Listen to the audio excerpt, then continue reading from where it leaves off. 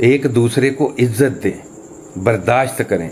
मेरे नबी ने फरमाया, तुम में बेहतरीन मुसलमान वो है जो बीवी के साथ अच्छा सलूक करे। और आका करीम सल्लल्लाहु अलैहि वसल्लम ने बीवी के लिए फरमाया, अगर मेरी शरीयत में सजदा जायज़ होता तो मैं बीवी से कहता कि अपने खामद को सजदा करे। बेहतरीन सदका, औलाद की अच्छी तरबियत है। आका करीम सल्लल्लाहु अलैहि वसल्लम ने फरमाया, आयशा, जब से मुझे पता चला है कि तू जन्नत में भी मेरी बीवी है तो आयशा, मुझे मरने का शौक लग गया है।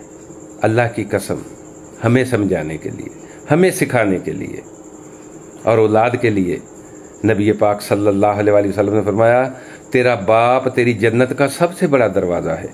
अगर तूने इसको नाराज़ करके मौत पाई तो तेरे लिए ये जन्नत का दरवाज़ा खुल ना पाएगा। और आका करीम सल्लल्लाहु अलैहि वसल्लम फरमाते हैं, काश आज मेरी माँ ज़िंदा होती और तुम देखते कि मैं क्या करता। आका करीम सल्लल्लाहु अलैहि वसल्लम फरमाते हैं, मैं तुम लोगों को नमाज़ ईशा पढ़ा रहा होता और उसमें सूरह फातिहा की तलावत कर रहा होता कि अचानक मेरी माँ को मेरे साथ कोई काम याद आ जाता और मेरी माँ दरवाजे की चिलमन को सरका कर कहती, इबनी मोहम्मद।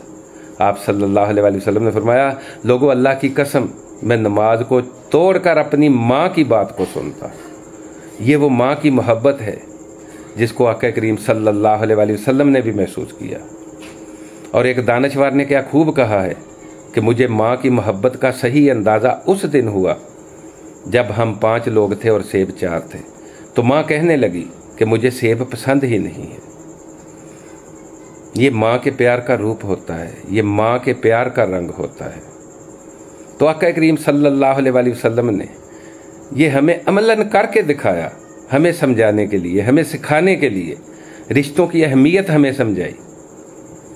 तो खुद को सांचा मोहम्मदी में डालें। आका करीम सल्लल्लाहु अलैहि वसल्लम के बताए गए तरीके पर अपनी ज़िंदगी को गुजारें। खुद को सांचा मोहम्मदी में डाल। लें जजाकल्ला